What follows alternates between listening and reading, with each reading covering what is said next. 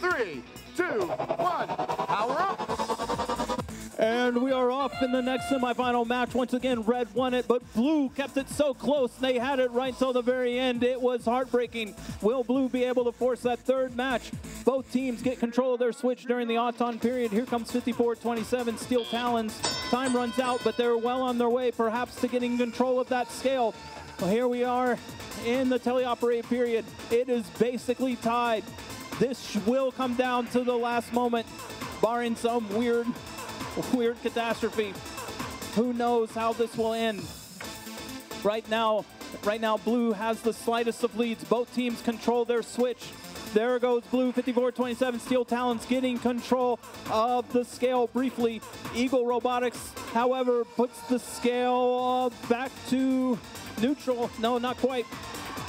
Blue controls the scale, and now blue controls their switch. They have a lead, and they are gaining a point per second. I hear some gears. I hope everything seems fine. However, 85 seconds left. Blue increased its lead a lot. There may have been a penalty, but now red. Now we have a tie match. Seems like the penalty is offset. 54-17 Eagle gets some uh, cube up onto the scale but there goes a counter from 54-27, Steel Talons. Red has control of the switch. Blue has control of the scale. 60 seconds left, one minute. Blue is up by 10. Blue's up by 10. Now we have a levitate, levitate from the Blue Alliance.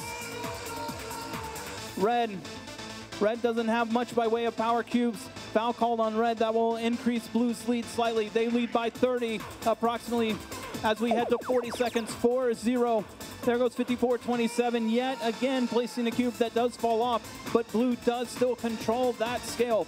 Red controlling their switch, so that's basically a wash. Red will have to make the thing make it up.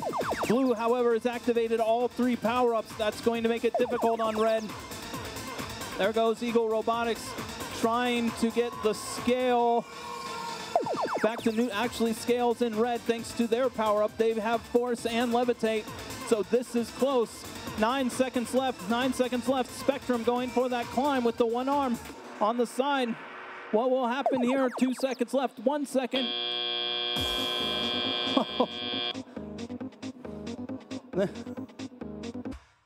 okay, we've got the official score coming from that semifinal match.